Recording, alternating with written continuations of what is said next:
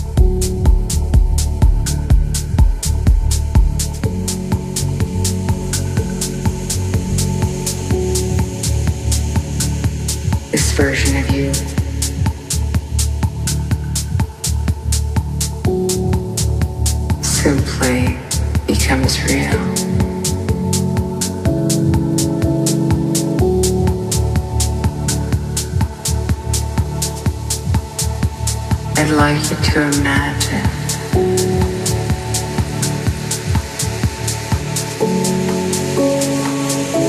this version of you.